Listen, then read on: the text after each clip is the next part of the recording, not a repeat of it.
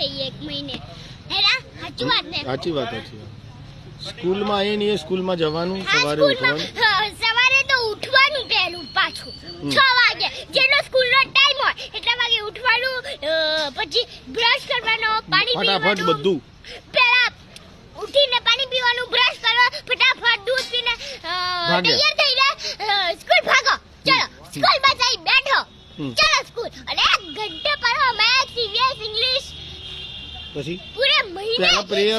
फिर पहले प्रेयर फिर इंग्लिश फिर मैथ्स फिर ईवीएस फिर गुजराती फिर जीके जीके मतलब मैथ्स हाँ? हमें मैडम आपको अगर जो ये स्कूल बनाने वाला मिल गया तो आप क्या करोगे? मैं उसे धोके ना पूरी पानी डाल दूँगा इस्त्री कर डालूँगी पूरी। घर में घर में। उसको पूछोगे कि तुझने सब कुछ अच्छा बनाया है भगवान ने? हाँ तो बस पढ़ना क्यों करना? मना पढ़ना भी थोड़ा अच्छा ही तो मज़ा आता। राइट तो भी मोदी को क्या मोदी को मोदी क्या कहना चाहते हो? क्यों हराना पड़ेगा मोदी को? अरे मोदी ये क्या गलत कर रहा है अब तक क्या किया? उसने ये जो किया है ना पढ़ना बना। पढ़ना मना ही आई क्यों? वो पहले मुझे बात जान के मुझसे धो के पानी पानी कर देना है। अच्छा। फिर? और स्टेमिना दूसरी बात। सिस्टर क्या करती है? वो सिस्टर आके तो फिर घर पे आओ एक बजे के बाद। हाँ। खाओ। हम्म। फिर वो उसका होमवर्क कर लो। हम्म। और फिर ट्यूशन जाओ। हम्म। ट्यूशन से चार बजे आओ। आओ आओ। और उसका होमवर्क करने बैठ जाओ। हम्म। ट्यूशन का। तो पूरा दिन पढ़ने का ही?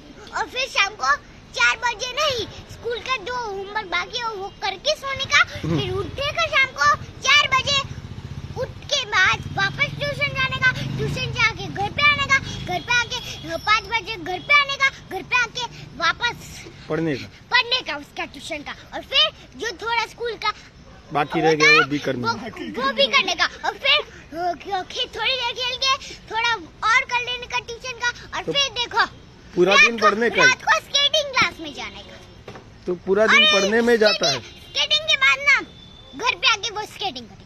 स्केटिंग के बाद ना कौन सी क्लास में जाने का बताओ? ड्राइंग क्लास ड्राइंग में जो ड्राइंग सीखो। हम्म। और घर पे आके वो ड्राइंग बना के अच्छे अब- से कलर करो। अब जब होमवर्क ही नहीं करते तो पापा क्या बोलते हैं? बापो शू कहता रहो अरे रे रे पापा क्या डांट खाओ? हम्म। मम्मी की दूसरी साइड डांट खाओ? सुबह उठो वापस। टीचर की डांट खाओ। टीचर की डांट खाओ सिस्टर की डांट खाओ प्रोफेसर की डांट खाओ सर की डांट खाओ। ये सब पीटी में जाओ। ये सब किस किस वजह से होता है? पढ़ने से ही?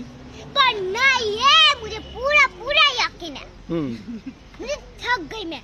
मुझे तो इन टीचरों से सर से और सिस्टर से छुटकारा चाहिए। वो कैसे मिलेगा?